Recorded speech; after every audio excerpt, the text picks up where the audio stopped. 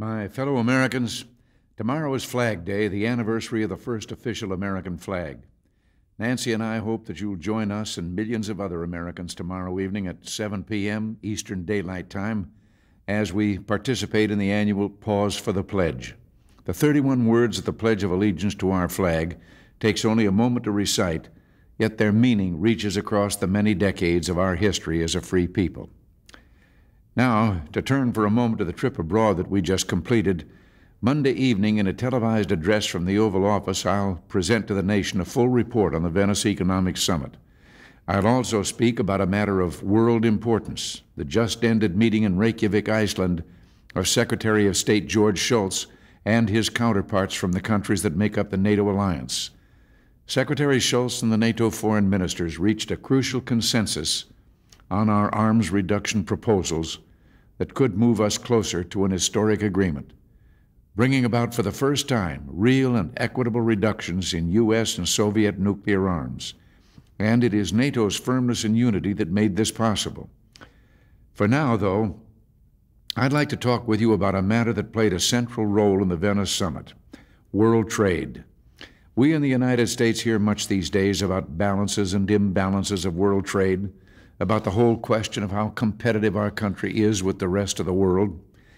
Congress, in particular, is paying a great deal of attention to this issue, and there are those on Capitol Hill who seem to think we can somehow make America more prosperous by putting up barriers and imposing tariffs.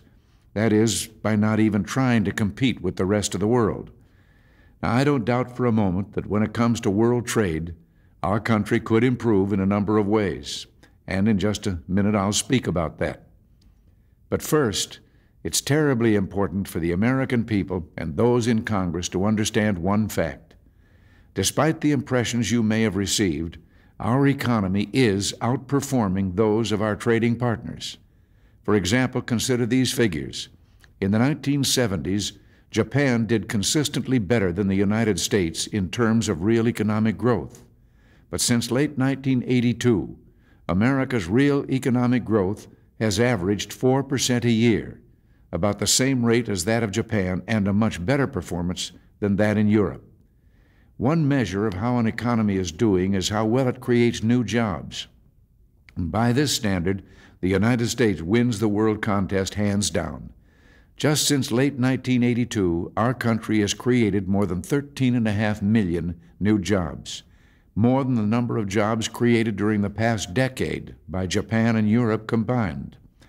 Growth in the United States is more sustainable now than it was in the 1970s because today our economic growth is much less inflationary. Indeed, the month our administration first took office, inflation was running at 12 percent. But since 1982, our country has averaged a rate of inflation of less than 4 percent. One final fact our economic growth has prompted and sustained economic growth throughout the world. Without America's economic recovery, now into its 54th consecutive month, most of the rest of the world, and especially the export economies of Europe and Asia, would have grown considerably less. This means that we're already doing something right, that because of our policies of low taxes and deregulation, the world economy is better off and America is already becoming more and more competitive. We can do better, and we're working hard to remove foreign barriers to trade. When Japan failed to enforce an agreement on semiconductors, I imposed economic sanctions. The Japanese started showing positive movement in one area, and I was able to lift a proportional share of the sanctions. But it was a clear lesson for all who trade with our country. This administration will insist upon trade that is both free and fair. When we impose sanctions, we do so only so that trade can expand trade. We want to work with Congress on a competitiveness package that will complement these efforts. For Congress to place severe restrictions on international trade with tariffs and barriers and to limit my ability to utilize our trade laws when necessary would damage our own prosperity and that of virtually the entire world.